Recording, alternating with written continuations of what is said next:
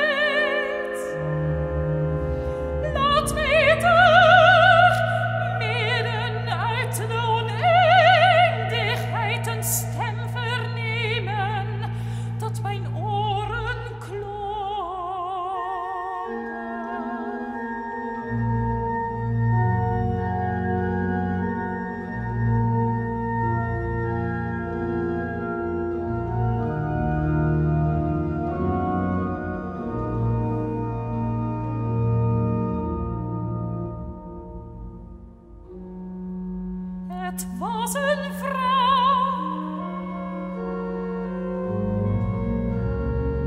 Het schip dat ze bevoerde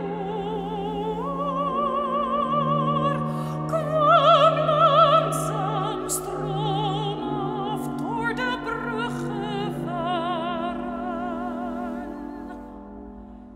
Zij was alleen aan en ik. Zij stond.